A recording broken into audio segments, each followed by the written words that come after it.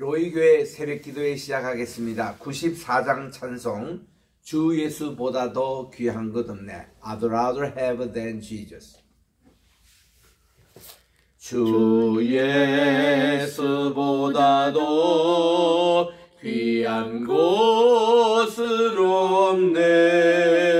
이 세상 부귀와 바꿀 수 없네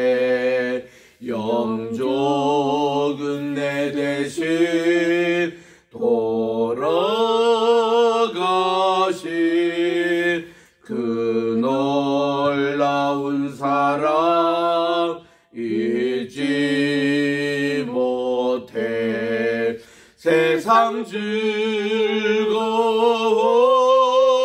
다 버리고 세상 자랑도 오렸네 주예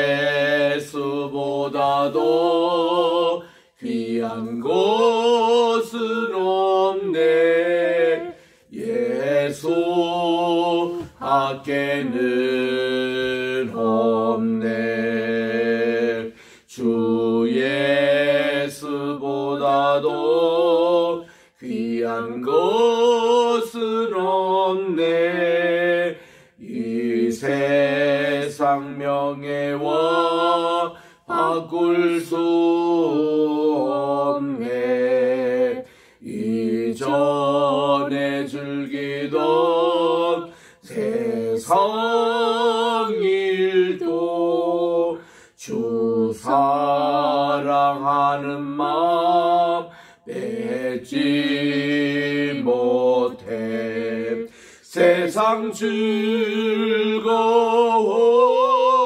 다 버리고 세상 자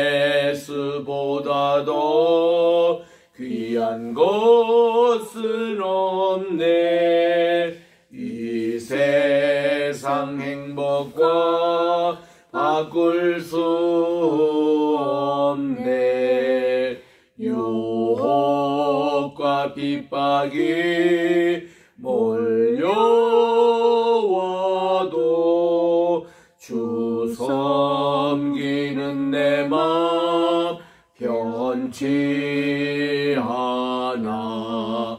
세상 즐거움 다 버리고 세상 자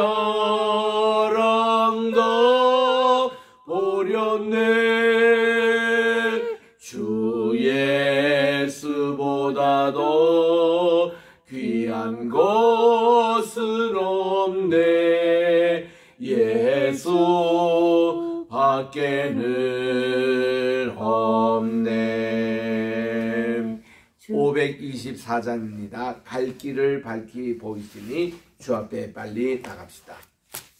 524장 갈 길을 밝히 보이시니 주 앞에 빨리 나갑시다. 우리를 찾는 구주에서 고도라 하시네. 죄악 벗은 우리 영혼은 기뻐 뛰며 주를 보겠네. 하늘에 계신 주 예수를 영원히 섬기리. 우리를 오라 하시는 말 기쁘게 듣고 순종하세 구주를 믿기 지체 말고 속속히 나가세.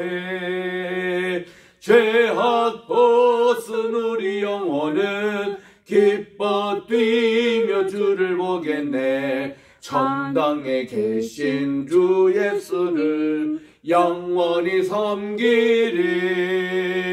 주 오늘 여기 계시오니 다 왔어 주의 말씀 드세. 듣기도 하며 생각하니 참 진리시로다. 죄악 벗은 우리 영혼은 기뻐 뛰며 주를 보겠네. 하늘에 계신 주 예수를 영원히 섬기리. 하나님의 은혜와 사랑을 진심으로 감사드립니다. 지난 간밤에도 단잠 허락해 주시옵시고 오늘 이렇게 주님 앞에 나와 새날 2024년 5월 3일 금요일 아침 첫 시간 주님 앞에 바칩니다. 하나님 오늘 또 주님 연락해 주시고 오늘 또 주시는 말씀을 통해서 저희들이 솔로몬의 그 기도처럼 저희들도 정말 하나님께 지혜와 명철을 구하는 이 시간이 되게 도와주시옵기만을 예수님의 이름으로 기원드리옵나이다. 아멘. 아멘. 오늘은 역대하 제 1장 어저께 우리 7절 어, 이제 들어가다가 어, 줌 시간이 맞춰서 했습니다. 이제 줌이 에, 원상태로 잘 복귀됐습니다. 오늘은 에, 시간 구애 없이 에, 잘 하겠습니다. 역대하 1장 7절 8절 어, 그 두 절만 우리 우선 읽겠습니다. 역대하 500, 아, 656쪽입니다. 시작. 그날 밤에 하나님이 솔로몬에게 나타나 그에게 이르시되 내가 내게 무엇을 주랴 너는 구하라 하시니 솔로몬이 하나님께 말하되 주께서 전에 큰 은혜를 내 아버지 다윗에게 베푸시고 내가 그를 대신하여 왕이 되게 하셨사오니 거기까지 우선 아, 보겠습니다. 오늘은 어저께 살핀 대로 에, 기본 산당에서 1천 번제를 하나님께 에, 드렸더니 하나님이 그날 밤에 에, 꿈에 에, 이 솔로몬에게 나타나셔서 이제 그의 소원을 물으시는 내용을 이제 시작하겠습니다. 우리 늘 어, 제사장들이 아침과 저녁, 즉 아침 9시에 또 저녁은 오후 3시입니다. 이때 드리는 제사를 상번제라 그렇게 얘기합니다. 매일매일 드리는 번제. 이 번제 때는 그 에, 그저 양 한 마리씩 잡아서 드리는 그런 상번제 드리는 아, 이 번제단에서 솔로몬이 왕이 되고 나서 하나님께 에, 정말 아, 예배를 드리는데 온 백성의 에, 지도자들 다 모여서 예배를 드리는데 천 마리를 드렸다. 그거는요 그 한 지도자 지도자 다 이 사람들 한 마리씩 이렇게 부담된 그 예배를 드렸다는 것 아니겠습니까?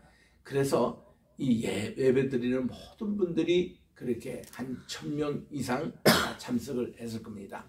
예, 하나님께 드려서 이랬더니 하나님이 이렇게 한꺼번에 참 일천 번제를 드리는 일이 그렇게 쉬운 일이 아니었습니다. 이제는 이제 다윗도 그렇게 한 적이 있습니다만은 하나님이 참 이 예배를 연락을 하시면서 이 솔로몬에게 묻는 겁니다. 내 소원이 뭐냐? 그랬더니 솔로몬이 이런 얘기를 합니다. 어, 쉽게 말하면 제가 아직도 어리고 아무것도 모르고 그러는데 왕이 되면은 대제사장을 겸한 것인데 제가 다른 것은 다 뭐 아버지가 워낙 준비를 잘하시고 다 했는데 지혜와 명철 내가 아버지만큼의 그런 지혜가 내가 없는 것 같은데 그거 좀 주십시오 이렇게 했던 겁니다. 자 그렇게 이해를 계속 8절에 솔로몬이 그렇게 주님께 말합니다. 주님께서 전에 큰 은혜를 내 아버지 다윗에게 베푸시고 제가 그분을 대신해서 왕이 되게 하셨는데 여호와 하나님이 온 건데 주는 제 아버지 다윗에게 허락하신 것을 이제 굳게 하옵소서. 주님께서 저를 땅에 티끌같이 많은 백성의 왕으로 삼아 사오니 주님은 이제 제게 지혜와 지식을 주사 이 백성 앞에서 출입하게 하옵소서. 이렇게 많은 주의 백성을 누가 능히 재판하리니까. 제가 이제 재판장이 됐는데 이렇게 제가 이런 지혜와 그런 명철을 하나님 주십시오 하고 기도를 하는 겁니다. 이게 이제 하나님께 법 마음에 합한 일이 됐습니다. 하나님의 응답이 옵니다. 11절에 솔로몬에게 이르되 이른 마음이 내게 있어 내가 부도 구하지 않고 재물도 구하지 않고 영광이나 원수의 생명 멸하기를 구하지 않고 장수도 구하지 아니하고 오직 내가 내게 다스리게 한 내 백성을 재판하기 위해서 지혜와 지식을 구하였으니 이제는 내가 지혜와 지식뿐만 아니라 부도 재물도 영광도 주니니 내 전의 왕들도 이런 일이 없었거니와 내 후에도 이런 일이 없으리라. 전무후무한 축복을 하나님이 약속을 하는 겁니다. 이때 솔로몬이 얼마나 기쁘겠습니까? 기본 산당 회막 앞에서부터 예루살렘으로 돌아옵니다. 거리가 그렇게 멀지 않아요. 한 4km 정도. 그래서 이스라엘을 다스리게 됐습니다. 14절에 갑니다. 솔로몬이 말이죠. 병거와 마병을 모음에 병거가 1400대였다. 그 이제 물론 어, 여기부터 한 4, 500명 전이 있습니다만은 출애굽할 때에 이게 그 어, 이집트의 병거에 바로가 휘하 다스리는 병거가 600성 정도 됐다고 그럽니다. 그에 비해서 지금 솔로몬이 지금 1400대의 병거만 있었고 또 마병이 1만 2천 명이나 있었습니다. 엄청난 병력이에요 이게. 엄청난 병력입니다. 그래서 그 솔로몬 때에 지은 성들을 가보면은 대문 입구에다가 자 저기 가니까 무기도에도 그게 있습니다. 솔로몬의 그 마병 있었던 예, 입구에 그 나와요. 말들이 이렇게 기었던. 그리고 또한 솔로몬 이제 그 성전 그 앞에도 보면 요즘은 알 악사라고 하는 사당이죠. 거기도 말들을 키우는 곳이었습니다. 또 하솔이라는 곳에 갔을 때도 하솔의 그딱 입구에 가보면 솔로몬 게이트라고 이렇게 나와서 이 말들을 이렇게 거기에 키우는 아, 이것이 나오는데 만 이천 명 마병이 있었다 엄청난 예, 병력입니다. 그리고 왕이 15절에 보니 예루살렘에서 은금을 돌같이 은하게 하고 아버지 때에 이미 성전을 지으시려고 다 준비를 하시기 때문에 은금이 너무 흔할, 흔할 정도였습니다. 그리고 백향목을 평지에 뽕나무같이 많게 하였더라 해서 이 레마론의 백, 백향목입니다. 이게 이제 두로왕으로부터 선물을 아버지 때 받아가지고 아버지는 그거 궁궐을 지으라고 이제 했는데 아버지는 이게 장차 하나님의 성전 짓는데 쓰려고 그것도 많이 준비가 됐다고 했습니다. 그리고 16절에 보니까 솔로몬의 말들은 애국과 구해에서 다 사들렸는데 왕의 무역상들이 때로 값을 정하여 산 것입니다. 다 고가를 주고 산 말들입니다. 이집트에서 사들인 병거만 또 한 대에 은 600세겔 큰 가격이죠. 그 당시 한 종이 팔리는 것이 30세겔이었는데 600세겔 정도 같으면 그게 종을 벌써 얼마나 아, 사는 것입니까? 200명 사는 그런 20명 사는 그런 에, 그 어, 그것입니까? 이렇게 아주 고가로 말은 150세겔씩 주었다. 그러니 뭐 엄청나게 많은 어, 그 가격을 지불해서 어, 병고도 사고 말도 구입하고 그리고 햇사람 오늘날 튀르키예입니다. 모든 왕들과 아람 왕들을 위하여 그들의 손으로 이제 되팔기도 했다. 이거를 수입에다가 다시 또 좀 돈을 더 얹혀가지고 되팔기도 했다. 이렇게 솔로몬의 부의 그런 이제 그 모습이 여기서 드러나고 있습니다. 2장에 갑니다. 역대하 2장 1절 솔로몬이 여호와의 이름을 위하여 성전을 건축하고 자기 왕위를 위해서 궁궐 건축하기로 결심했습니다. 이때가 언제냐면 솔로몬이 왕으로 취임한 지 4년째 되는 해였습니다. 그러니 이제 3년의 세월이 지나고 4년 될 때 그때 성전이 이제 이제 착공이 되거든요. 그런데 그가 이제 이런 성전을 짓기 위해서 일꾼들 진꾼만 7만 명, 산에서 돌을 떠내 올 자만 8만 명 그리고 이를 감독할 자만 감독자만도 3,600명을 뽑았습니다. 그리고 요 인원은 아버지가 준비하지 않는 인력인데 이거를 또 보충해 가지고 이렇게 많은 사람들을 준비시키고 솔로몬이 사절단을 어디에 보낸 거 아니 바알 종교의 본산지인 페니키아 페니키아 그게 두로왕에게 보냅니다. 그 당시 두로왕이 후람이었는데 당신이 전에 내 아버지 다윗에게 백향몸을 많이 보내주셔서 궁궐을 짓게 하셨는데 내게도 그렇게 하면 안 됩니까? 하고 이제 그에게 백향목을 요구했습니다. 레바논의 백향목 너무 너무 유명하잖아요. 향이 좋습니다. 그리고 건축 지을 때의 기둥으로는 최고품입니다. 이제 내가 나의 하나님 여호와의 이름을 위해서 성전을 건축하여 구별하여 드리고 주 앞에서 향재료를 사르며 항상 떡을 차려놓고 안식일과 초하루와 월삭입니다. 우리 하나님 여호와의 절기에 아침 저녁으로 번제 이거를 상번제라 그럽니다. 아침 9시 저녁 어, 오후 3시 이때 번제를 드리려 하오니 이는 이스라엘의 영원한 규례입니다 하고 이 후람에게 이렇게 설명까지 하면서 백향목을 요구합니다. 그래서 5절 보니까 제가 이제 건축하는 것은 성전은 흔히 우리 하나님도 모든 신들보다 크시기 때문에 그렇습니다. 누가 능히 하나님을 위해서 성전을 건축하리요? 하늘과 하늘의 하늘이라도 주님을 용납하지 못하겠거든. 제가 누구의 능히 그분을 위해서 성전을 건축하리요? 이런 얘기를 얘기한 것은요 우리 시편 110편에 보면은 주님께서 다윗에게 이런 말씀을 합니다 야 하늘이 내 보좌요 땅이 내 발등상인데 뭐 건물을 뭐, 뭐 내가 그렇게 조그마한 건물에 내가 뭐 갇혀 있는 그 정도가 아니라고 주님이 이미 그렇게 말씀하셨잖아요. 그를 염두에 두고 하는 겁니다. 그래서 이거는 그냥 하나의 상징적인 것이지 하나님의 그 위대하신 하나님을 어떻게 우리가 이런 조그마한 그 어, 신전 성전에 가둘겠습니까? 그런 이제 내용입니다. 그래서 이렇게 못하겠거든 누가 어찌 능히 그분을 위해서 성전을 건축하리요 그 앞에서 분양할 따름입니다. 이제 청하노니 또 이분이 왜 아버지가 다 준비한 건데 왜 후라망에게 이런 거를 청하는지 모르겠어요. 당신은 금, 은, 동, 철로 제조하여 자색, 홍색, 청색 실로 직조하여 이 창색 요거는 직조하면은 이게 에봇이 됩니다.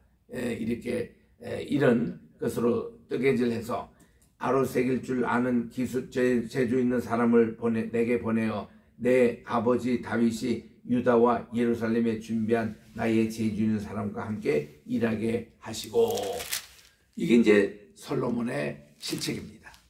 이런 얘기를 하나님께 기도해야 되지. 어? 왜 이렇게 이 두로왕에게 이런 부탁을 하는지 모르겠어요. 어? 이거는 그 당시 바알 신전들이 너무나도 괜찮고 뭐 마음에 드니까 이제 그거 기술자를 보내달라는 것이었거든요. 그런데 이 하나님의 성전을 짓는 사람을 이렇게 아무나 선발해놓으면 안 됩니다. 우리 이미 출애굽기 35장, 36장 시작에 이렇게 나옵니다.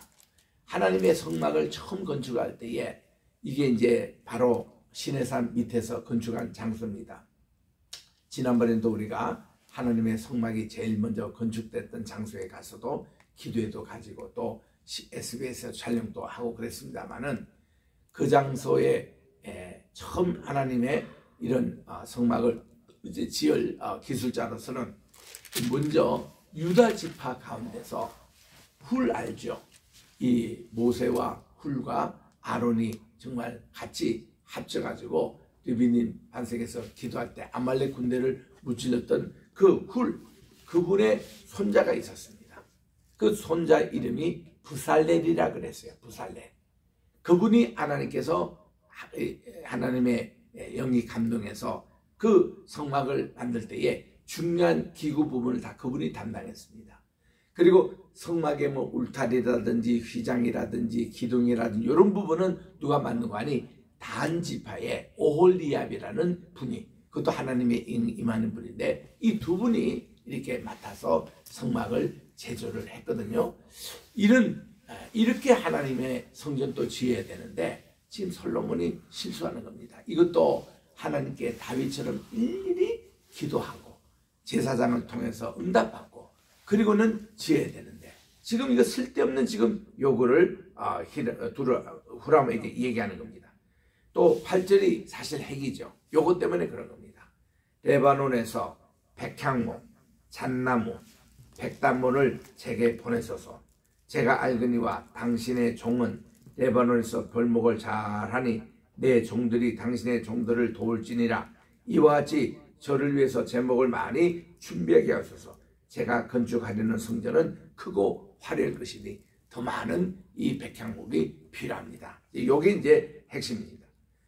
그래서 10절에 보니까 제가 당신의 벌목하는 종들에게 이렇게 찌은 쌀 2만 고로와 또 보리 2만 고로와 포도주 2만 밭과 기름 2만 밭을 주리라 하였더라. 어마어마한 양의 음식을 지금 제공을 하면서까지 이제 그들 아, 그 바알 신전을 지은 기술자를 보내달라고 지금 얘기하는 겁니다.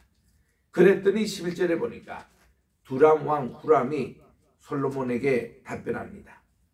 여호와께서 자기 백성을 사랑하심으로 당신을 세워 그들의 왕을 삼으셨는데 후람이 또 이르되 천지를 지으신 이스라엘 하나님 여호와는 성축을 받으실지로다 다윗 왕에게 지혜로운 아들을 주시고 명철과 총명을 주시사 능히 여호와를 위해서 성전을 건축하고 자기 왕위를 위해서 궁궐을 건축하게 하는다도 하고 아주 뭐 찬양하는 척합니다. 이거는 다 이게 이방 종교를 섬기는 사람의 수법이었죠.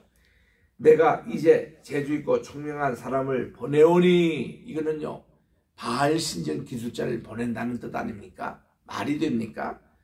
전에 내 아버지 후람에게 속했던 자라 아버지 때는 다윗왕을 그렇게 도, 도왔는데 이번에는 자기 아들이 어, 또 이 솔로몬을 또 돕는 이런 것으로 제가 보내겠다는 겁니다. 이 사람은 단의 여자들 중한 여인의 아들이요. 그의 아버지는 두로 사람이라. 이게 국제 결혼하는 사람입니다. 능히 금, 은, 동, 철, 돌, 칼, 나무, 자색, 청색, 홍색 실과 가는 배로 이렇게 다 이렇게 뜨개질 한 겁니다.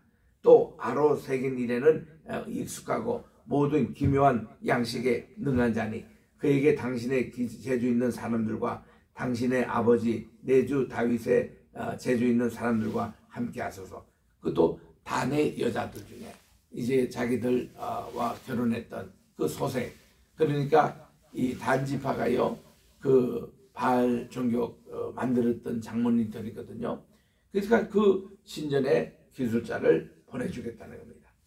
내 주께서 말씀하신 밀과 보리와 기름과 포도주는 주의 종들에게 보내소서. 그러면 우리가 레바논에서 당신이 쓰실 만큼 벌목하여 이게 이제 그 백향문벌 비롯해서 잣나무, 백당문 이런 겁니다. 그래서 때를 엮어 바다에 띄워가지고 옆바로 보내겠습니다. 이렇게 항구로 보내서 옆바에서 이제 수송하여 예루살렘으로 옮기시라는 겁니다. 당신은 제목들을 예루살렘으로 올리소서라고 했습니다. 그래서 이제 솔로몬이 취임한 지 4년 만에 성전 건축이 시작이 됐습니다. 17절에 보니까 전에 솔로몬의 아버지 다윗이 이스라엘 땅에 사는 이방 사람들을 조사하였더니 이제 솔로몬이 다시 조사함에 모두 15만 3,600명의 일꾼이 모이게 됩니다. 그 중에서 7만 명은 짐꾼이 되게 하고 8만 명은 산에서 벌목하게 하고 또 3,600명은 감독자로 삼아서 백성들에게 일을 시키게 하였습니다. 그래서 드디어 이제 성전이 건축이 됩니다. 어디서요? 모리아산에서. 3장 1절입니다. 솔로몬이 예루살렘 모리아산에 이 이곳은 전에 여호와께서 그의 아버지 다윗에게 나타나신 곳이요 여부서 사람 오르난의 타장 마당에 다윗이 정한 곳입니다.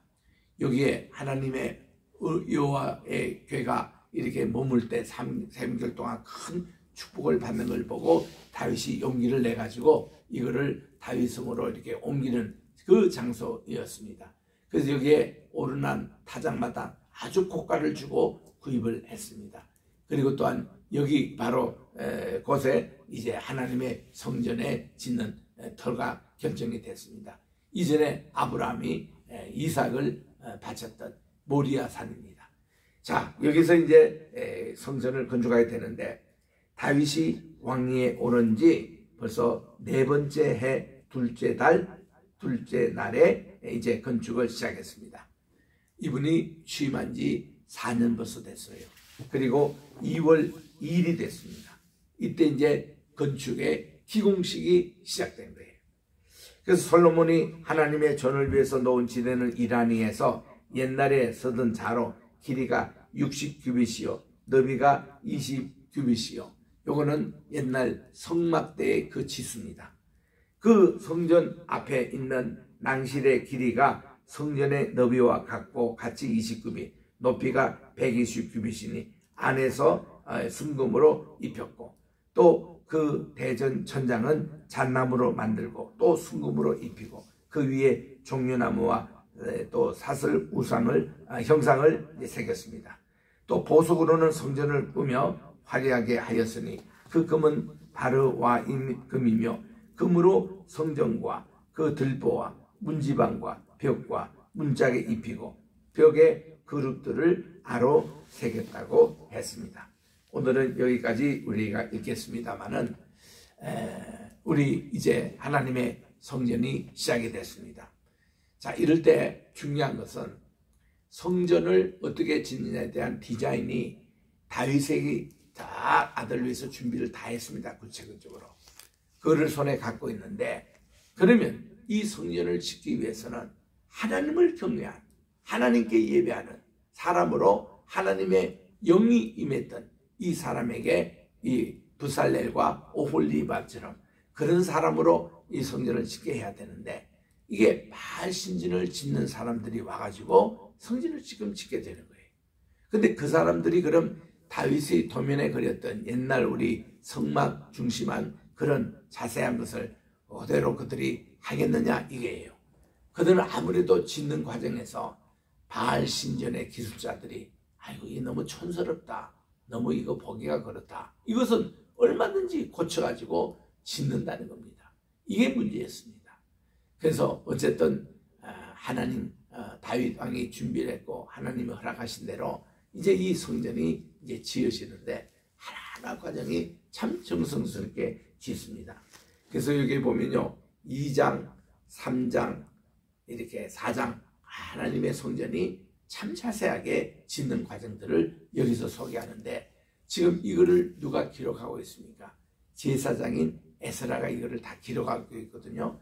그분의 요점은 하나님의 성전 예배가 회복되는 이 모습을 그리고 있기 때문에 굉장히 자세하게 이 과정을 기록하고 있습니다.